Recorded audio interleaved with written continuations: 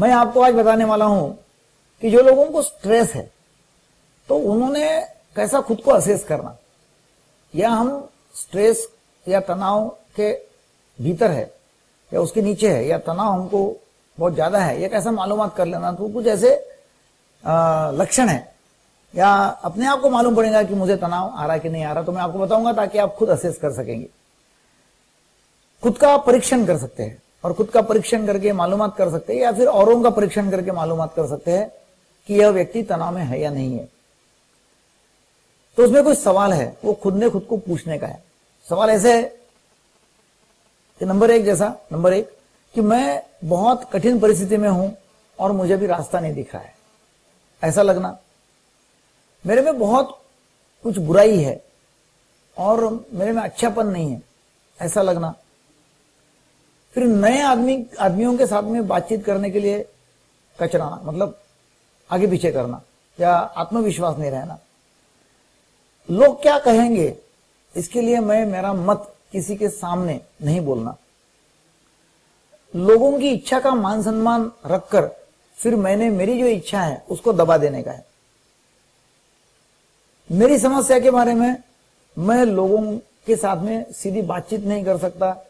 मेरा कहना जो मेरी समस्या जो है, मैं लोगों के सामने बोलता नहीं हूँ। तब अपयश आ जाएगा। ये चिंता से फिर मैं आखिरी समय तक मेरा काम रुका देता हूँ। तब कोई कठिन परिस्थिति रही तो मैं बहुत डर जाता हूँ।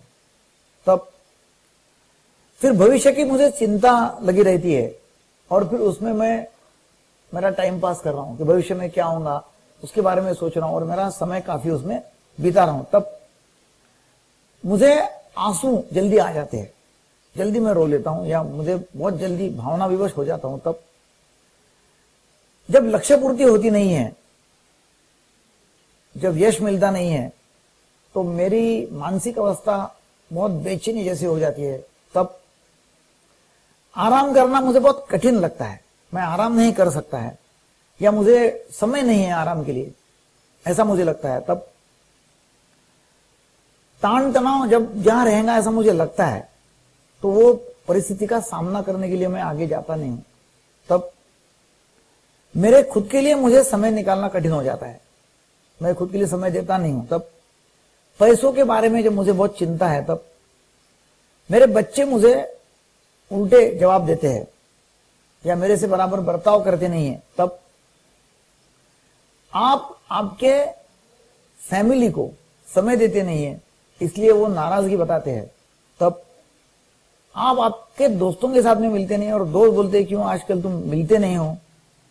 तब मतलब ये परिस्थिति है, इसमें भाई आप तनाव के परिस्थिति में हो सकते हैं। ऐसा नहीं कि तनाव है करके। तो अपने आप को देखना है कि भाई ये जो जो मैं बता रहा हूँ, ये परिस्थितियाँ है क्या? ये मेरे लिए वास्तव में है क्या? ये सच्चाई है क्या मेरे लिए? आगे का बताता हूँ। लोग मेरा फ़ायदा उठाते हैं। ऐसा मुझे लगता है तब मुझे बहुत हार्डवर्क करना पड़ता है, बहुत ज़ोर लगा के काम करना पड़ता है, तब मैं ज़्यादा काम करता हूँ। मुझे ऐसा लगता है कि मुझे रिजल्ट्स और चाहिए और बहुत ज़्यादा मैं काम करता हूँ। जो समय है, वो समय का मतलब समय के घंटे जो जितने हैं काम करने के, उससे ज़्यादा मैं काम करता हूँ। मेरे काम इतने ज़्यादा बढ़ चुके हैं कि मेरे काम पूरे होते नहीं है और बहुत पेंडिंग वर्क है मेरे लिए, तब मुझे ऐसा लगता है कि काम करने का बहुत मुझे अभी बहुत प्रेशर आ रहा है। या अभी ऐसा नर्वसनेस आ रहा है, काम करना ही नहीं ऐसा मुझे लगता है। तब काम करने के लिए मेरा समय मुझे बहुत कम पड़ता है और मुझे बहुत ज़्यादा प्रेशर स्ट्रेस लगाना पड़ता है तान तनाव लेना पड़ता है, लोगों को रिक्वेस्ट करना पड़ता है, आगे टाइम लेना पड़ता है। तब मैं बहुत जल्दी जल्दी काम करता हूँ। तब मैं दो चार काम एक साथ करने के लिए कोशिश करता हूँ, तब कि बहुत सारे काम, ये भी काम करो, वो भी काम करो, वो भी काम करो, ऐसा। मैं मेरा बोलना और काम करना जो है, वो बहुत स्पीड से करता हूँ, है ना, फास्ट करता हूँ तब। मुझे ऐसा लगता है कि मेरा समय है ना, बहुत जल्दी जल्दी बीतता है, तब काम पे पहुँचने के लिए मुझे बहुत टाइम लगता है। जहाँ मैं जाता हूँ काम पे, वहाँ मुझे टाइम लगता है। तब मैं खाना बहुत जल्दी जल्दी खा लेता हूँ। मैं कोई भी काम खाते खाते करता हूँ, तब मुझे हरदम सर्दी, जुकाम काशी होती रहती है तब। मैं सिगरेट या तंबाकू का सेवन करता हूँ तो। मैं मेडिटेशन के लिए, सम्मोहन के लिए या कोई एक्सरसाइज करने के लिए समय नहीं निकाल सकता हूँ तब। मेरे दिनचर्या में परिश्रम का काम बहुत कम है टेबल वर्क ज़्यादा है तब। और ज़्यादा काम होने से मुझे थकान आती है और मेरी सेक्स की इच्छा, जो है लैंगिक इच्छा, वो कम हो जाती है तब।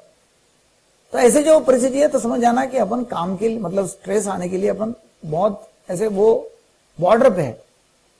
है ना कि कभी भी मतलब इसका मतलब है कि आपको स्ट्रेस आ सकता है कभी भी। और स्ट्रेस तो आ ही रहा है।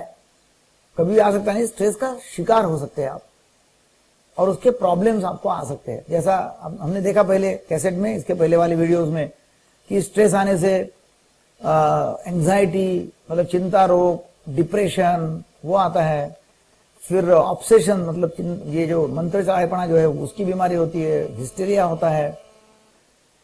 काफ़ी सारी मनो, काफ़ी सारी मनोशारीरिक बीमारियाँ होती रहती है लाइक डायबिटीज़ है ब्लड प्रेशर है है ना? दमे की बीमारी है या हेडेक्स है माइग्रेन है, ऐसे काफ़ी सारी बीमारियाँ स्ट्रेस की वजह से, तनाव की वजह से होती रहती है। तो समझो, ये जो मैंने अभी बताया, ये चीज़ें ये चीज़ें आपको हो रही है, या इसमें आप आपका मतलब बर्ताव कर रहे हो बिहेवियर है तो आपने सतर्क होना ज़रूरी है। आप तनाव में है, ऐसा समझने के लिए मैं आपको कुछ बताता हूँ कि आप तनाव में काम कर रहे हैं, और भी कुछ चीज़ें वो आपको बताता हूँ कि आप एक आधी चीज़ घर में लाते हो, और वो खराब निकली तो आपको बहुत गुस्सा आ जाता है। तो आपको कहाँ कहाँ गुस्सा आता है? छोटी छोटी बात के ऊपर वो आपको बताता हूँ। वही तो वो बहुत ज़्यादा गुस्सा आ रहा है। बहुत ही ज़्यादा। तो समझना कि आप स्ट्रेस में हो, इसलिए आपको बहुत ज़्यादा गुस्सा आ रहा है। छोटी छोटी बातें रहती है रोज अपने जीवन की। तो आप कोई चीज़ घर में लाते हो, खरीद के लाते हो, घर में आने के बाद में वो खराब निकली, आप बहुत गुस्सा कर लेते हो। तब फिर एक आधे व्यक्ति ने आपको काम करने के लिए बहुत ज़्यादा कीमत मांग लिया, बहुत ज़्यादा पैसा मांग लिया और आप बहुत गुस्सा कर लिए। तब फिर गलती बहुत सारे लोगों ने किया और आपको ही पूछा कि आपने ये ऐसा क्यों किया? आपको जवाब पूछा कि ऐसा क्यों हुआ? आपको बहुत ही गुस्सा आ गया। तब आपकी गाड़ी कहीं फंस गई है और आपको बहुत गुस्सा आ जाता है। तब आप चाय लेके जा रहे हो चार कप, किसी ने धक्का दे दिया और चाय आपके शर्ट के ऊपर गिर गया और आप बहुत नाराज़ हो गए बहुत गुस्सा हो गया आपको। तब आपको किसी ने धक्का दे दिया, कोई चीज़ नीचे गिर गई और उसने उठाया भी नहीं। तब आपको किसने समय दिया मिलने का? और वो व्यक्ति वो समय पे आया नहीं और आपको बहुत गुस्सा आ गया तब। आपकी गाड़ी बंद हो गई और किसने पीछे से बहुत ज़ोर ज़ोर से हॉर्न दिया? तब आपने किसको किताब दिया या कोई चीज़ दिया और उसने वो समय पे वापस नहीं लौटाया? तब आप गाड़ी चला रहे और किसी ने आपको ओवरटेक किया, पीछे से आया और आपको बोला कि आपको गाड़ी चलाना आता कि नहीं आता? ऐसा किसने कमेंट्स पास कर दिया? तो ये सारी चीज़ें होती है कि आपको बहुत ही गुस्सा आ जाता है और एकदम ब्लास्ट बम्बार्डिंग हो जाता है। इसका मतलब आप बहुत ही तनाव के नीचे मतलब जैसे वो आग पेटी की तिल्ली मतलब रहती ना काड़ी तिल्ली लगी हुई रहती है तो बस घासलेट विसलेट डाल के रखा हुआ है। बस थोड़ा सा आपने घर्षण कर दिया तो अंगार लग गई। तो ये चीज़ें बहुत ज़रूरी है। यदि आप मेडिटेशन हिप्नोसिस सेल्फ हिप्नोसिस सम्मोहन उपचार।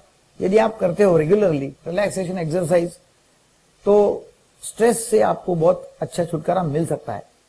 Thank you very much